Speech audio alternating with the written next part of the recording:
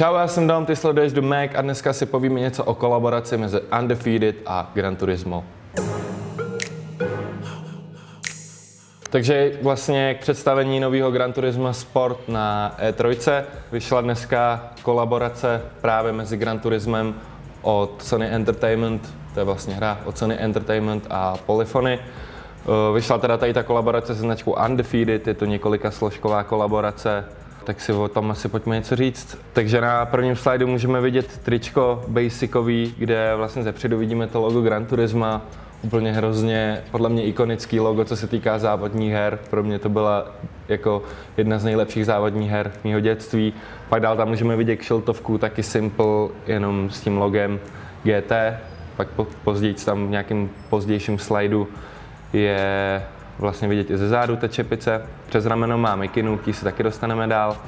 Teď už tady máme slide té mikiny, kde je undefeated logo, ale je udělaný vlastně ve stylu ten vnitřek, ta textura je udělaná jako to logo právě Gran Turisma, plus na levém rukávu je Gran Turismo, což je poměrně cool, tohle hrozně funguje, podle mě, když na mikině je logo takhle na tý, tak to hrozně tu mikinu oživí. I třeba takovýhle logo nebo tak, ale prostě takový dlouhý loga, vždycky to vypadá líp na mikině, oživí vodost. Dále je tady vidět ve spojení teda zase ta čepice, kde vidět, že je to basic čepice, prostě nic na tom neto, vyšívaný logo, což je vždycky cool, je to lepší než nějaký plastový nebo nějaký takovýhle blbosti. Pak tady dále máme tu mikinu, opět s tím undefeated logem, eh, akorát v černé barvě, takže je tam kaky barva a černá na výběr. Tady máme zase opět tu olivovou, akorát detailnějc.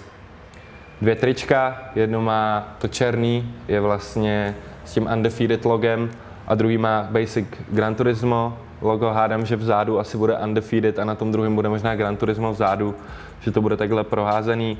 A poslední slide je kšiltovka, kde tady vidíme ze zádu, že vlastně nad tím výřezem u toho zapínání to má Undefeated logo.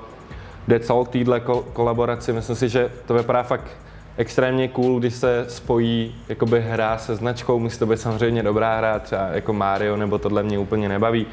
Každopádně uh, release téhle kolekce je v PlayStation Gear Store uh, ode dneška vlastně do 15, takže je to takový dvoudenní pop-up a to je k tomu všechno a teď si nakonec pustíme kousek z toho nového traileru právě z nového Gran Turisma.